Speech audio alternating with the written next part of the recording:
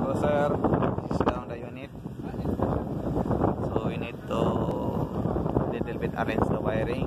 This is the two compressor. The other one is already miss all details. The other one there.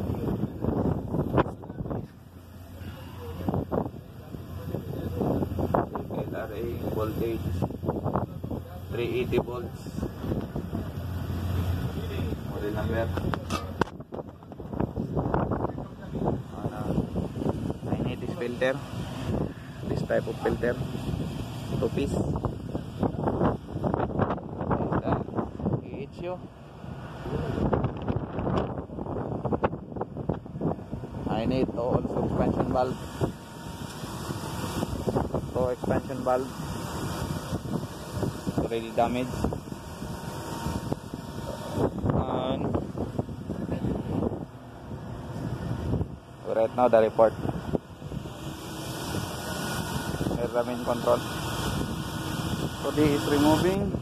So this is removing. See my gas now is already empty. So only 5% balance.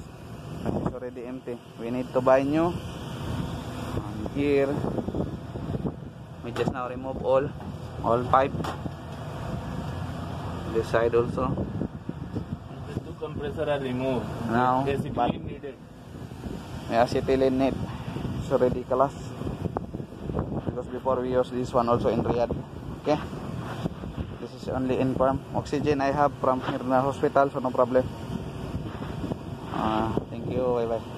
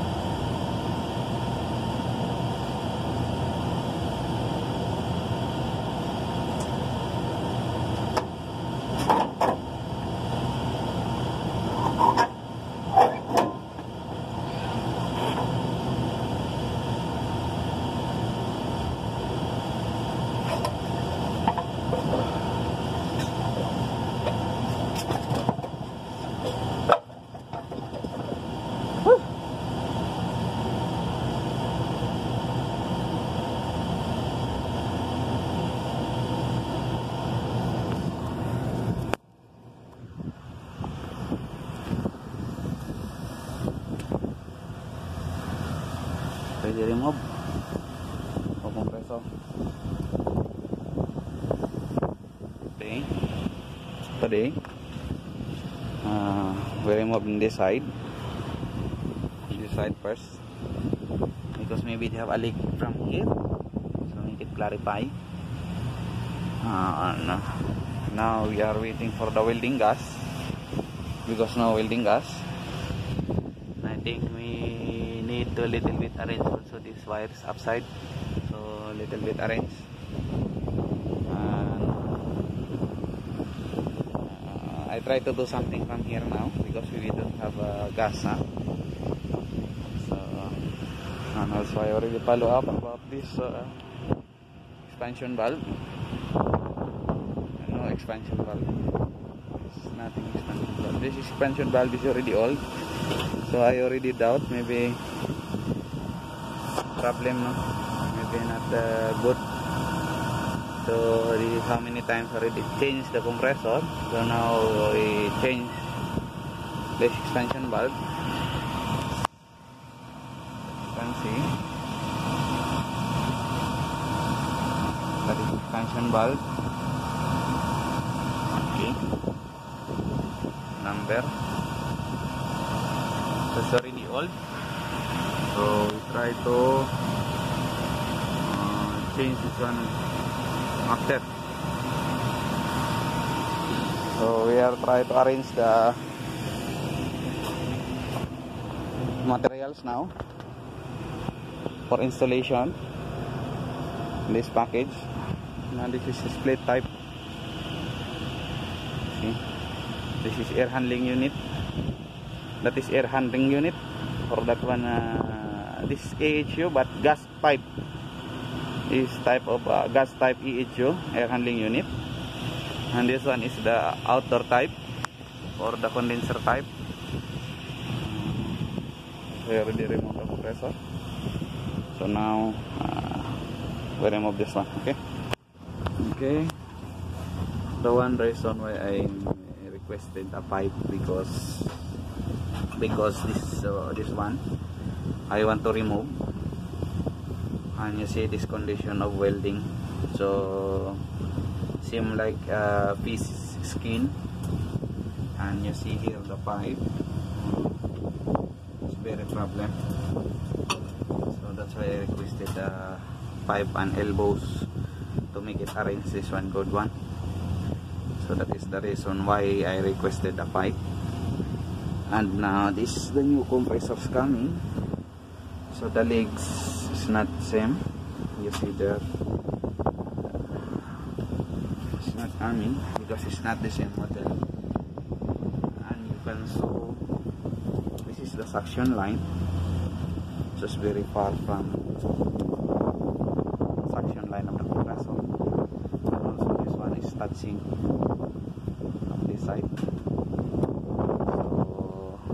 now I waiting also the gas well. I want to remove this one this one. Remove and transfer where is the leg uh, you see the condition. And I want also to re remove this this area. Because this is only useless. Uh, it's nothing use. Uh, because this is not original from I think the even the compressor I remove here is not original for this unit. So I need to remove this one. Now I try to put this one now. It's already installed but uh, not yet fixed. Finally after other side also. So in this side uh, only little bit difference uh, little bit uh, uh, arrange but I want to cut this. This is see the condition is very high uh, very problem. Big problem for this condition. So this compressor because the leg is not, is not the same I want to make it move little bit from this side. To make it little bit space in that side. So that is only. So today uh, this afternoon it's already night 6 o'clock going to 6 o'clock. So I still work. This is the tow compressor. And this is you from Hyde. And I already done flashing on other side. I have a balance for other side. But I have one thing here. The see this is for flashing. I have two expansion valve I, want to change both of them because you can see from there it's already the maybe not good already so I want to make it replace. Uh, but still not yet come. So I ask only the advisor if uh, I replace one piece here or I replace two piece. Uh, expansion valve for that unit. Okay so now I still here work. Uh, give me first advice. Thank you. Okay the, we already done one compressor. You see the piping there. The wiring I already fixed the wiring but uh, not finally is uh, arrangement. So one balance. Cut already there the pipe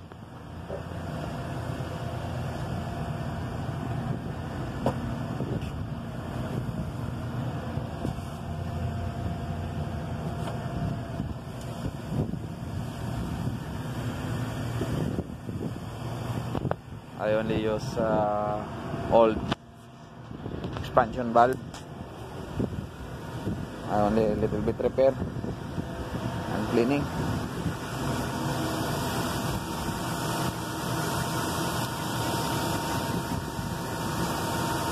So inshallah tomorrow or after tomorrow. Tomorrow is Friday maybe after tomorrow inshallah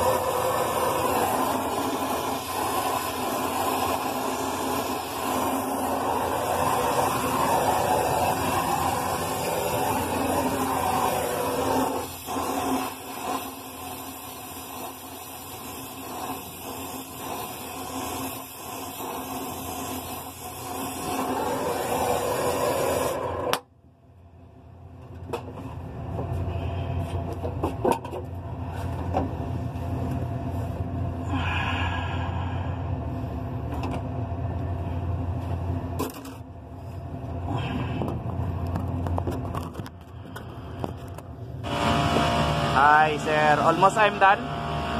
This is the second compressor. And this the other one.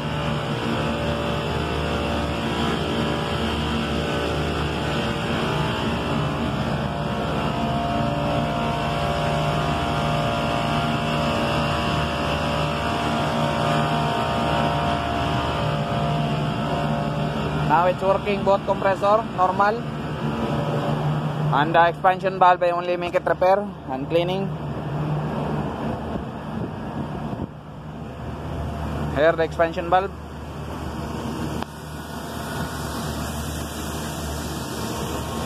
The old expansion valve I return only and make it clean.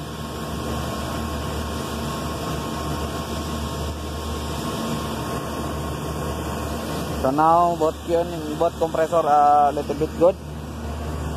But tomorrow we finalize for this uh, arrangement.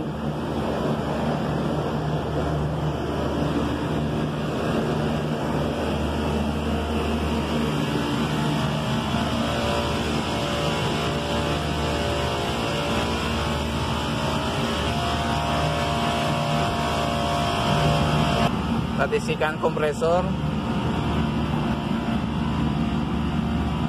28 ampere.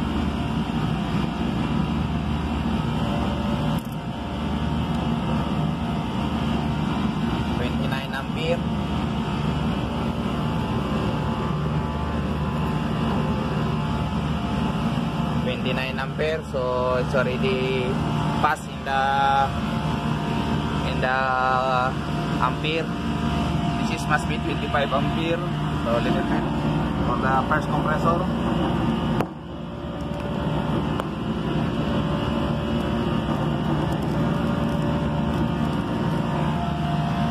So this is 32 ampere. So no problem. This is 35 ampere. The red one.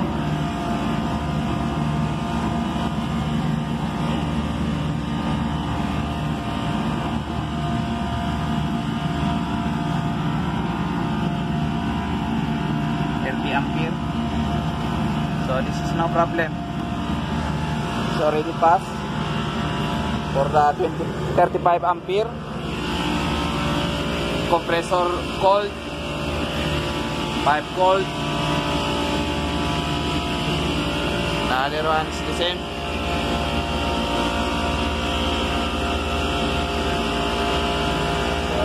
Now everything is okay.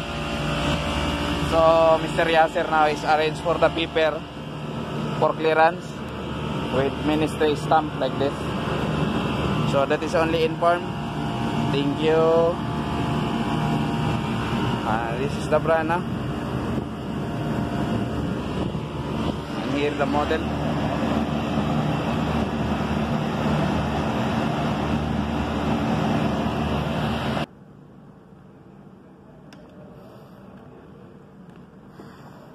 Room temp 20, room temperature 22.